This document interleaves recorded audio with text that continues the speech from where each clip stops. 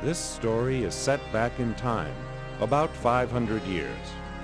In this period, Japan was divided into a large number of districts, where each warlord was desperately trying to expand his reign. The roaring sound of war could be heard everywhere.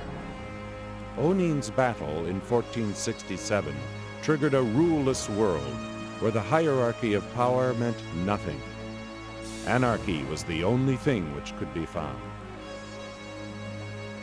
But the arrival of a foreign ship, cast ashore by a storm on the distant southern island, influenced the war greatly.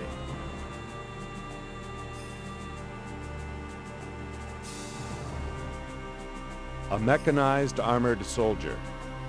Technology given by foreigners along with firearms enabled Japanese craftsmen to build an 8 meter tall humanoid robot. Powered by a steam engine. This machine was so powerful that each robot could stand against 300 cavaliers.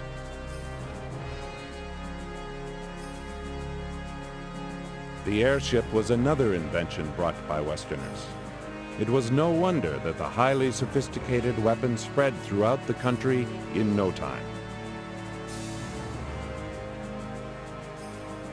Countries which could not keep up with the rapid change lost their power and were absorbed in the powerful stream.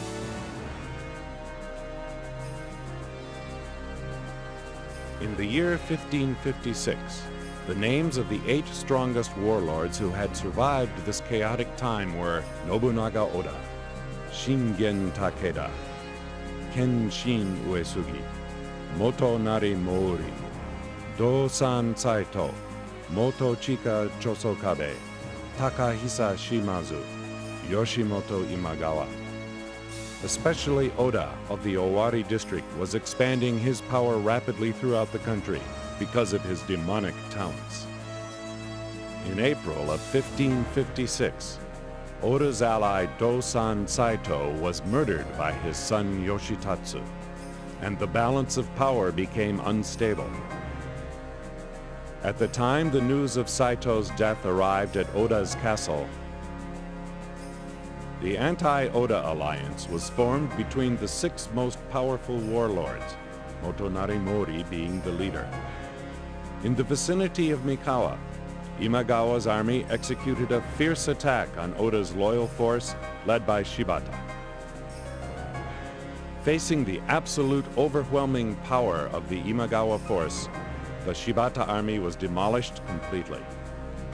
Additionally, a report said that other Allied forces were approaching from the north and the west toward Oda territory. It seemed like Oda's fall would only be a matter of time.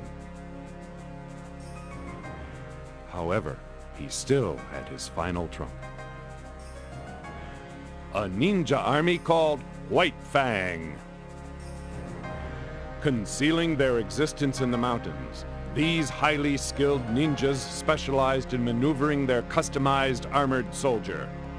The order was given by Nobunaga, only they can overcome this desperate situation.